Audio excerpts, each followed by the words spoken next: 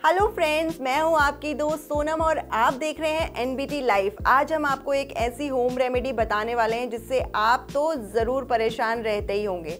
Well well, हम बात करने वाले हैं आपकी गर्दन के बारे में। गर्दन एक ऐसा हिस्सा होता है जिसे हम अक्सर ही नज़रअंदाज कर देते हैं। ऐसा कई बार होता है कि फेस के कंपैरिजन में गर्दन काली नज़र आती है।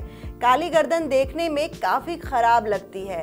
यह आपकी पर्सनालिटी पर नेगेटिव इफ़ेक्ट भी डालती है। हालाँकि, इसके काले होने के पीछे कई सारे रीज़न हो सकते हैं, जैसे कि टैनिंग बल्कि कई बार गर्दन पर गंदगी भी जमी होती है। ये भी वजह हो सकती है। वहीं लोगों को लगता है कि गर्दन का कालापन हटाने के लिए ज़्यादा मेहनत करने की ज़रूरत होती है, जबकि ऐसा बिल्कुल भी नहीं है। इस प्रॉब्लम को दूर करने के लिए कुछ बेसिक सी टिप्स, यानी कि होम रेमेडीज़ हम आपको बताने वाले हैं, जिससे आपकी काली गर्दन एकदम साफ़ हो जाएगी। तो बताते हैं कुछ होम रेमेडीज जिन्हें ट्राई करने पर कुछ ही दिनों में गर्दन चेहरे की तरह ही आपकी गोरी नज़र आएगी। इसके अलावा इस घरेलू उपाय को आप इस्तेमाल करने के बाद काफ़ी ज़्यादा अच्छा फील भी करेंगे। वेल well, आपको क्या करना है? तो बताते हैं गुलाब जल जो आप रोज़ाना कहीं ना कहीं अपने लिए इस्तेमाल करते ही होंगे तो कुछ फीमेल्स गुलाब जल टोनर की तरह यूज़ करती हैं। इसलिए इसको नहाने के बाद आप कॉटन बॉल को जैसे आप फेस क्लीन करते हैं, वैसे आप गर्दन को भी क्लीन करेंगे तो आपकी गर्दन पूरी तरह से साफ़ हो जाएगी, यानी कि कह लो कि सफ़ाई हो जाएगी। आपकी गर्दन काली होने से बच जाएगी। ये तरीका आप रोज़ाना अपनाएँ तो इससे गंदगी साफ़ होती रहेगी और गर्दन पर धूल या कालापन नहीं जमेगा।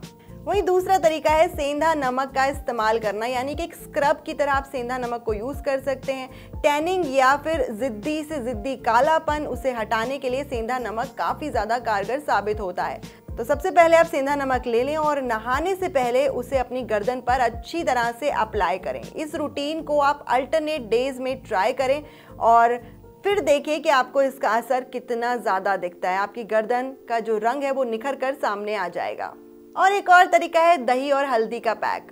कालेपन से अगर छुटकारा पाना चाहते हैं तो दही और हल्दी का पैक अप्लाई कीजिए। आप जिस तरीके से इसे अपने चेहरे पर लगाते हैं, उसी तरह से गर्दन के लिए भी इसे आप लगा सकते हैं। काफ़ी असरदार साबित हो सकता है। इसके लिए आपको एक बाउल में दो चम्मच दही लेनी होगी, एक से डेढ़ चम्मच हल्दी लेनी होगी और इसके मिक्सचर को आप गर्दन पर अप्लाई कीजिए।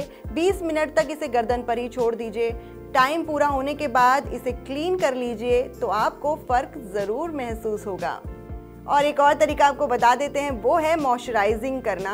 सनस्क्रीन लगाना बहुत ज़्यादा ज़रूरी है।